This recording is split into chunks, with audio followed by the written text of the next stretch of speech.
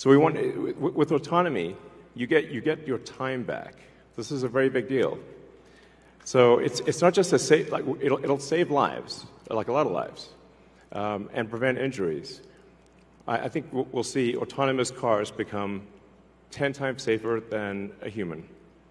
Um, I mean, if you, if you, think of times past where there, were, there used to be an elevator operator in every elevator, uh, but uh, once in a while they get, you know, they get tired and uh, accidentally shear somebody in half, uh, you know. So, so now we have automated elevators. You just get in an elevator and you press a button, and you don't even think about it. And it just takes you to the floor. And if you did see an elevator operator with a big relay switch, you'd be like, that's weird. Um, now, that's, that's how cars will be. Um, and, and it's not just the lives saved in injuries, but if you look at the, think about the cumulative time that people spend in a car and the time that they will get back that they can now spend, well, I guess on their phones or, or, or, watching a movie uh, or doing work or whatever you want to do. Um, you can think of the, the car in an autonomous world as being like just a, a, a little lounge. You're just sitting in, in a comfortable little lounge and you can do whatever you want while you're in this comfortable little lounge. And when you get out, you will be at your destination. So, yeah, it's going to be awesome. So, so in, in fact, we, we, I think the, the cost of autonomous transport will be so low that you can think of it like individualized mass transit. Um, the, like the average cost of, of a bus per mile for a city, um, not, not the ticket price because that is subsidized, but the average price is about a dollar a mile.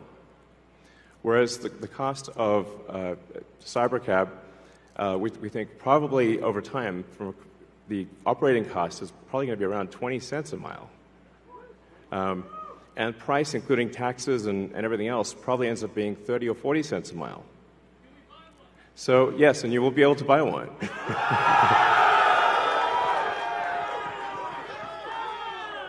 yes, exactly. Uh, and uh, we, we, expect the cost to be below $30,000. Yeah. And I think there'll be an interesting um, you know, business model where, like, let's say somebody is an uh, you know, Uber or Lyft driver today uh, it, they, where they can actually sort of manage a fleet of cars and like a sort of manage, I don't know, 10, 20 cars and just sort of, you know, take care of them like a, like a shepherd uh, tends their flock. You have a little your flock of cars and you're the shepherd and you take care of your flock of cars. I think that would be pretty cool. Um, and um, it's, I think it's going to be it's going to be a glorious future. It's going to be really something special. So yes, good, all excellent questions. Um, so, we, we, do expect actually to, to start uh, fully autonomous, unsupervised FSD uh, in Texas and California next year. And that, that's obviously that's with the Model 3 and Model Y. And then we, we, we, expect to be in production with the, the Cybercab, which is really um, highly optimized for autonomous transport uh, in probably, well, I tend to be a little optimistic with timeframes. Um, but but in, in, in 2026. So, yeah. Before 2027, let me put it that way.